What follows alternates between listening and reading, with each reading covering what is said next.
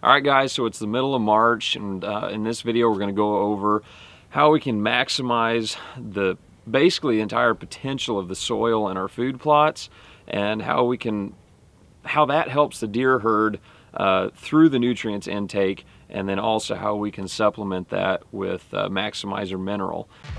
My name is Josh Pretzer and I'm a farmer and a hunter and I took the Dare to Compare challenge. Let me show you how to get the most out of your investment.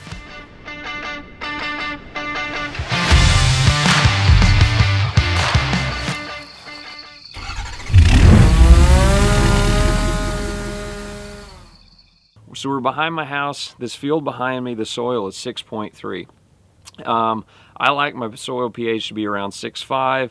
Uh, granted, I'm in the row crop industry, corn, soybeans, and wheat. Um, so, you know, but a lot of guys brush off the, oh, it's only a deer plot. Um, it doesn't have to be perfect, and it's that's right. It doesn't have to be perfect, and in a lot of areas of the country, we're dealing with high pH and low pH. Um, but this series is about maximizing the opportunity that we have. Um, so like I said, this soil here behind my house, where I'm going to have a plot, is 6.3. That's a good pH. Um, our area where where I live, we deal with low pH most of the time. Low pH is, is uh, solved with lime, ag lime. Um, have it spread on the field. Um, and it's really crucial, especially right now, to take a soil sample, see where you're at. Um, you know, most of your ag companies, uh, your local co-ops, uh, you can even have a, we I can take a soil sample and mail it up to K-State and they'll send me the results back.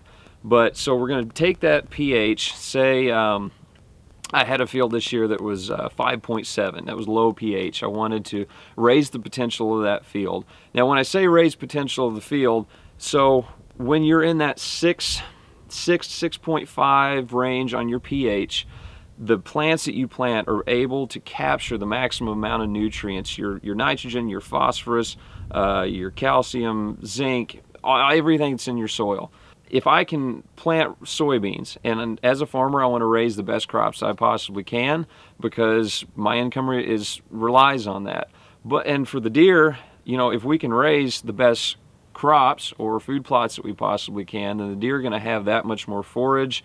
Um, it's going to have more beans later into the year um, that they can get their nutrition from. So, you know, if we can just maximize the opportunity that we have with the soil that we have, you know, it's just going to be one more step and a key to getting the everything out there to the deer that we possibly can.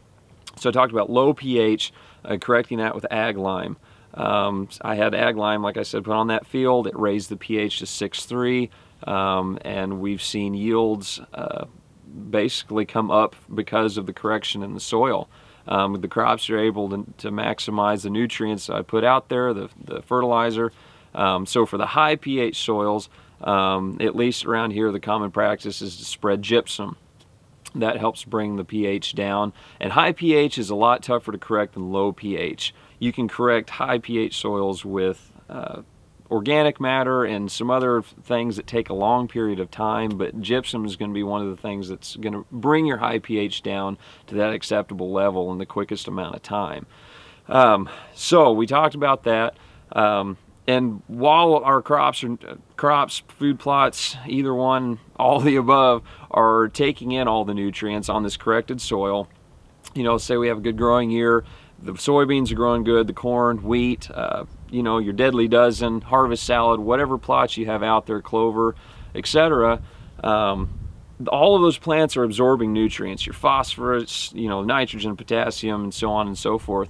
All of so all those nutrients are being absorbed into the plants and the deer are eating those plants and that's how they're getting the nutrients.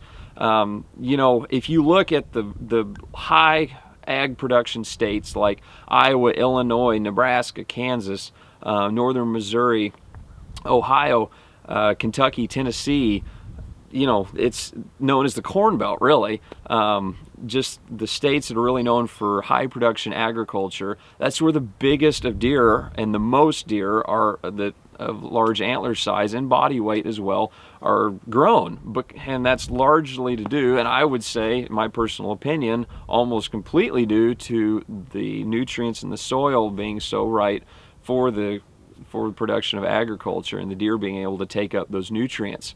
Um, so as the deer ingest uh, the, you know, like I said, all the food plots, the row crops, however it may be, they're taking in the nutrients.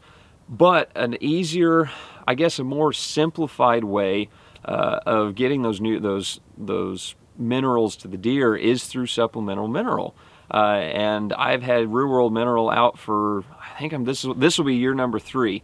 Um, and something I've really noticed about it is that the deer on at least on my farm here at my house use it 365 days a year. I used to go out and throw a lot of salt-based, um, you know, minerals out there, and I would get a lot of pictures. So as deer hunters, I think that's a fault that a lot of us have is we just, you know, when we pull that that card and when it says, you know, 500, 1,000, 5,000, however it may be pictures, we get stoked, you know, because oh man, the deer are really hitting this, but a lot of the reason deer are hitting some of these mineral sites that are mostly salt based is because they have to ingest and take so much in to get what they need.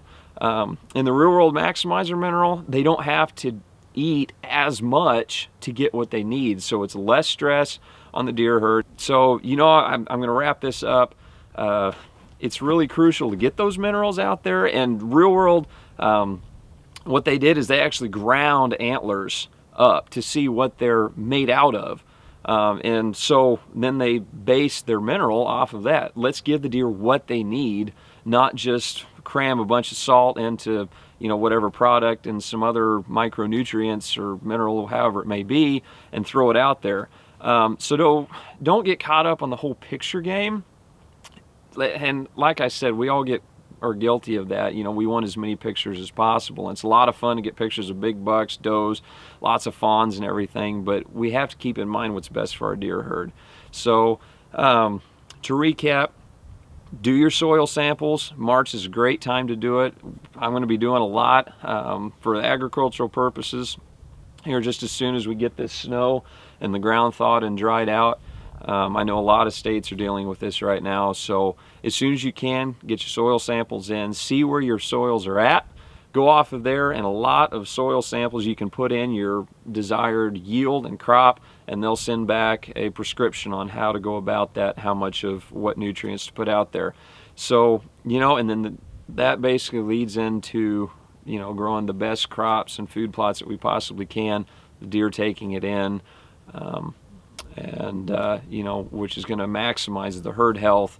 So that's going to wrap uh, this video up guys. You know I hope this is helpful. Um, if you have any questions or, or, you know about improvements we can make just throw them out there. We'd love to hear it.